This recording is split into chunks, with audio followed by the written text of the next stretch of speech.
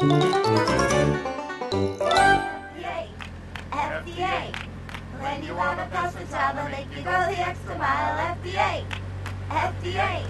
When you think you're almost done, then you're back at square one. FDA, FDA.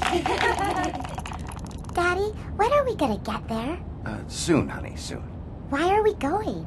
Well, uh, because we're pharmaceuticals, and one of the great things about being pharmaceuticals is that we get to spend 12 months in a tropical climate. It's uh, just a little test to make sure we're stable. Ooh, honey, listen to this. The Binder KBF Stability Test Chamber features dehumidification evaporators that guarantee a perfectly consistent climate of 30 degrees Celsius and 65% humidity with absolutely no condensation over the entire duration of your tropical climate zone 4 test.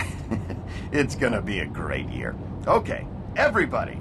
FDA, away, away, away.